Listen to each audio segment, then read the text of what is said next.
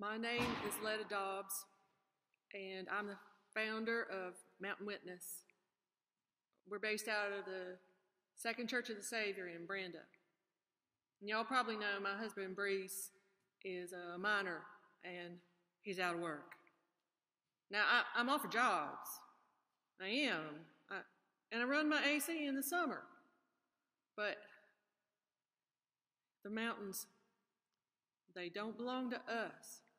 They belong to God, and we got no right to blow them up. Now, they'll tell you they're creating hundreds of positions, but just ask anybody in Kinlayson or Juville where they wreck the water and filled air with black dust. And those folks will tell you that most of them jobs they're creating are overseas.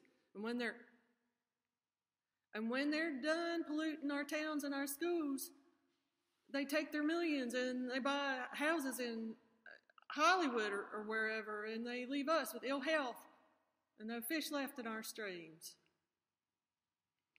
Now, I have been recently diagnosed with stage one glioma, brain, brain cancer. So I don't even know if I'm going to be around for the devastation brought down upon us all I can think about are my girls. What kind of world's going to be left for them?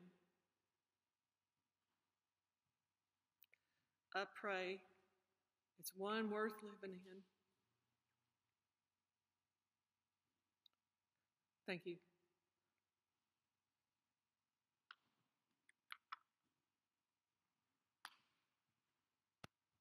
My name is Brees Dobbs. Ledda here is my wife. We agree on some things and disagree on others. Where we agree, we both want to raise our girls right, give them a future.